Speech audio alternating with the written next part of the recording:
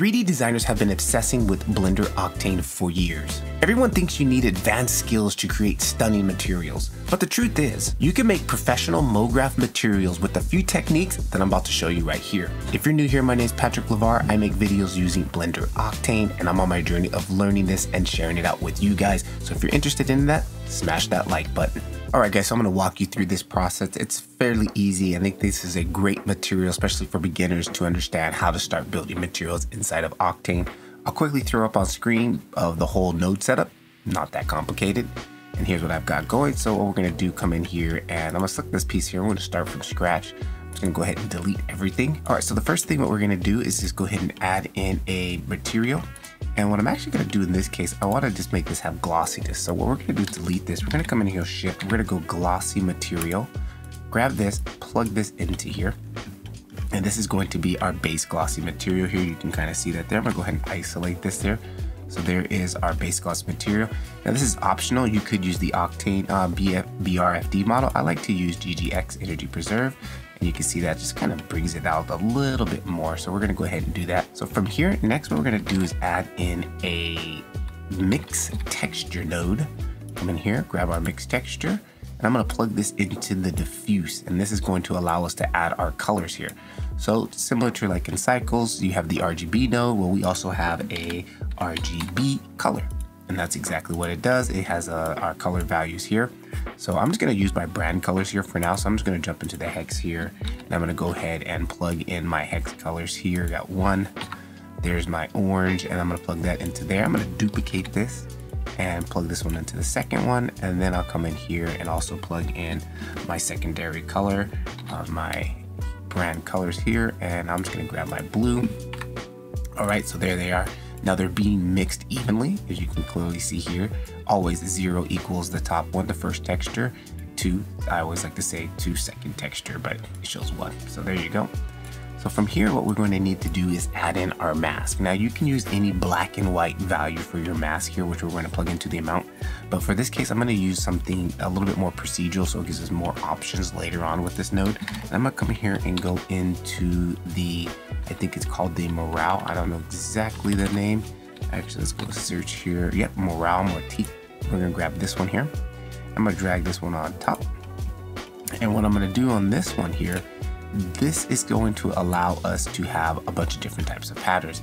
Now you can see right now it's set to rings. I'm gonna go ahead and change this to circles. And now you can see we've got these circles. And this is really nice note here. We can control the size of these circles here.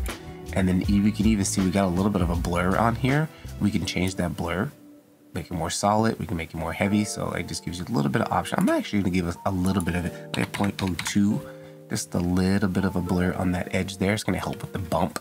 And then we've got corner radius, which doesn't apply for a circle, but if we go in here, we've got uh, rings, we've got rectangles, we've got frames. So again, then you come in here, now you've got your corner radius that you can control here and things like that. So that's why I said this is a really cool procedural node that we can use. So let's go back to circles. And now what I also want to be able to do is control the size of these things here. So what we're going to do is add in a projection node. And again, this varies, but for this case, I'm just going to use this. You could use a box projection or whatever type of projection you needed for that situation. I'm just going to throw in this UV mesh because in Octane, whenever you animate anything, it has to have some type of projection on it. Otherwise, the animation will just slip off. It won't stick to the uh, texture.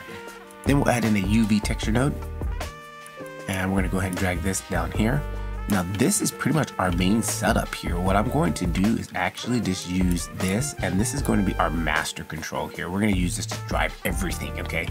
So next what I want to do is control a little bit of, let's get a little separation between the dots and the actual overall roughness of the whole sphere. So an easy way to do that is just come in here and we're going to add in a gradient map node, which is our version of a color ramp. And I'm going to go ahead and plug that straight into the roughness and then you can see everything goes dull. And then we're gonna pipe this same uh, morale, mor the procedural generator, we're gonna call it that. We're gonna plug that straight into the input. And now you can already see we've got a little bit of a separation, like this is shiny and this is not. So if we wanted to, what we can do here is easily flip that just with the color ramp here, come in here and go flip. And I prefer that a little bit better in this case here. And then we can go ahead and just crunch these values down to if we want more contrast. You can see we really got a lot more contrast going on that. I don't like anything, nothing is pure black in real life and pure white. So I just kind of like to also back this off a little bit. And the same with the white, kind of back that off. Nothing's pure white in life, right? So that just also gives us more control. So if you didn't want that to be so uh, so diffuse, you can add a little bit back in there, right? So I'm just gonna add a little bit off of that, like something like that. And these black ones here, they're looking a little too, too shiny for me. So I'm gonna actually back that off a little bit too. I just want something like that. That looks good.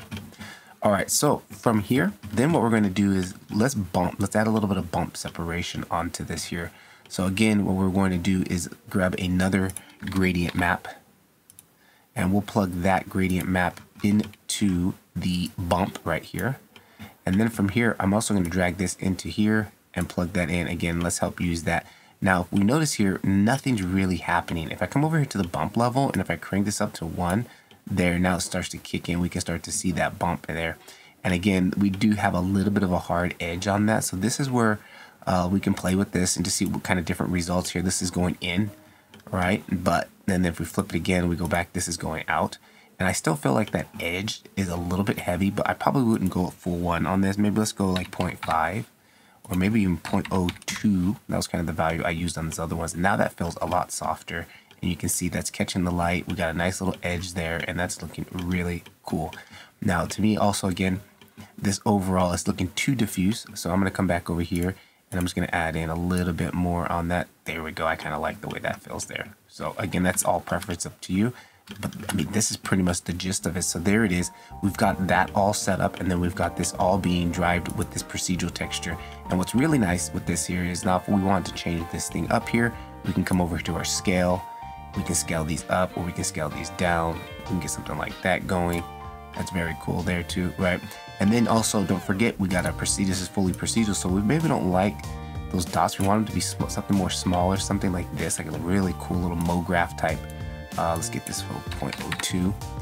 A little bit of MoGraph pattern on that. Look at that. That looks absolutely fantastic. And it's fully procedural, so resolution independent. Look how close we can get and that still looks very clean, right? That's the benefit of using a procedural textures.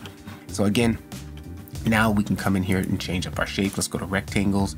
Now we've got these little rectangles in here. Oof, that just looks awesome, right? Let me go ahead and crank up the size on this. Let's go uh, we have 0.2, let's go 0.4, just to get, we can get a little bit more spacing between those. And then again, if we want to add more size on that, we can control that here, bigger sizes, smaller sizes. And let's, uh, let's go back to 0.2 for a moment there. I don't like that, looks a little too much, right? Let's go something smaller, more smaller, the spacing between there. Yep, and there it is, that looks cool. We can go over to rings, and we've got these little circle rings on here. Look at that, Nice, and that's catching the light there pretty fairly well. Again, we can play with the size on this. Actually, you can get some really cool patterns going on going here. Look at that. But you gotta be careful getting a little bit of artifacting with these things crossing over there. So I would kind of be noted of that. So there you go. You've got your circles. Again, we got that corner radius when we get into things with a frame, like for example, these guys here. Here's our corner radius. Opens that up. That's a really nice, interesting material right there. So if you guys want to watch more of these videos down below, check the link for my Blender Octane course. It's in my Blender Octane community. There you can get immediate access. And for the next seven days, I'll knock five bucks off. So jump on that, get in there, finish watching some more of these videos, and get access to the newest videos as soon as they are finished cooking from me. Patrick LeVar, catch you guys in the next one. Take a look at this video. Peace.